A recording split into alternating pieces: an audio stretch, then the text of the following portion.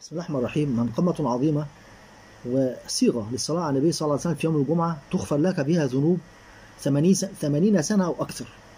سأقول لحضراتكم الحديث وأدلة تحسين الحديث والمناقب العظيمة لهذه لهذا الحديث أو هذه الصيغة.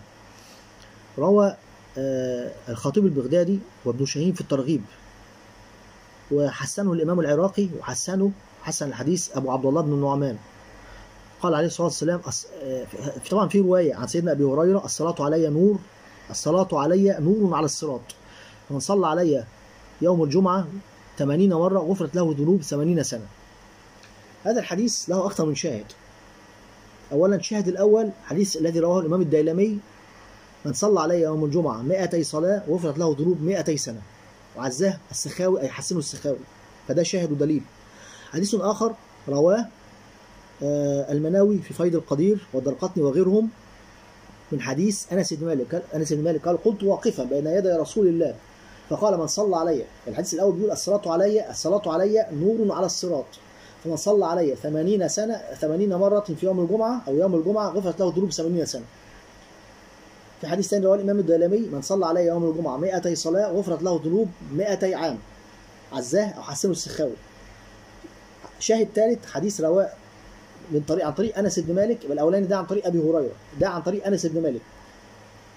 روى ابن أنس بن مالك وروى الإمام المناوي في المناوي في فيض القدير والدرقطني وغيرهم من حديث أنس بن مالك قال كنت واقفا بين يدي رسول الله رسول الله فقال من صلى علي يوم الجمعة 80 صلاة غفرت له ذنوب 80 80 سنة. فقال كيف كيف نصلي عليك يا رسول الله؟ يعني كيف نقول؟ قال له قول اللهم صل على محمد عبدك ورسول ونبيك ورسولك النبي الأمي.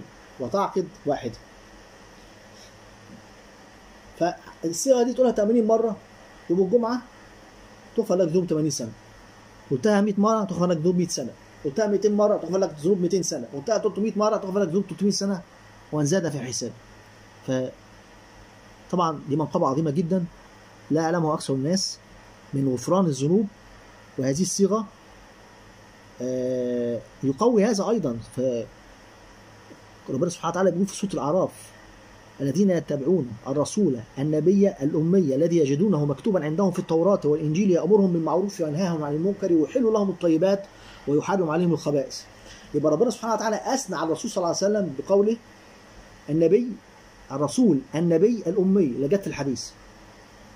وأعظم إعجاز في بعثة النبي صلى الله عليه وسلم أمي. أمي علم العالم. فرسول من صفاته انه رسول وانه نبي وانه أمي.